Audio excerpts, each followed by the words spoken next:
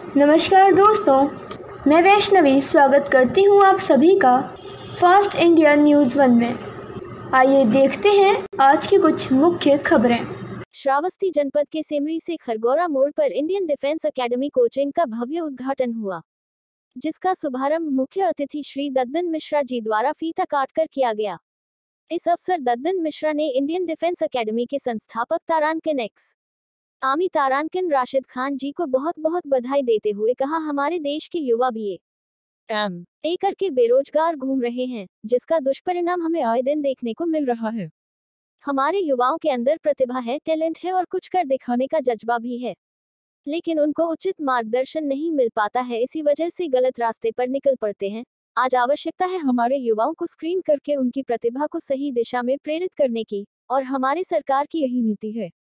हमारी सरकार द्वारा कौशल विकास केंद्र के माध्यम से युवाओं को स्किन किया जा रहा है। साथ ही साथ उन्होंने कहा कि हमारा देश बहुत विशाल देश है। यह बहुत बड़ा काम है। इसमें प्राइवेट सेक्टर व गैर सरकारी संस्थाएँ भी आगे आकर बढ़ चढ़कर हिस्सा लें और मैं आभार व्यक्त करना चाहता हूँ इस इंडियन डिफेंस एकेडमी के कर्ताधरता का कि हमारे इस पिछड़े ज़िले के ग्रामीण अंचल में एकेडमी खोलकर युवाओं को एक अवसर प्रदान करने का बीड़ा उठाया है। मैं उनकी पूरी टीम को बहुत बहुत धन्यवाद देता हूँ।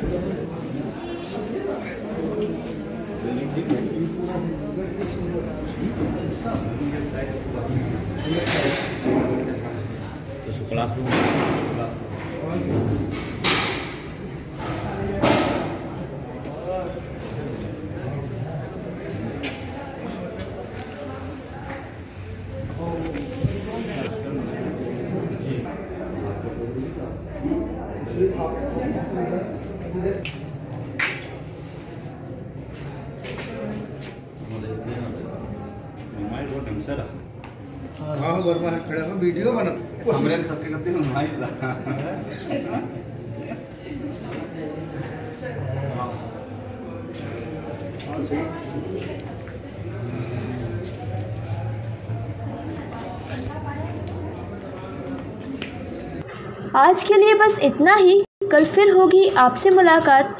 ऐसे ही कुछ खास और बड़ी खबरों के साथ। तब तक के लिए देखते रहिए फास्ट इंडिया न्यूज़ वन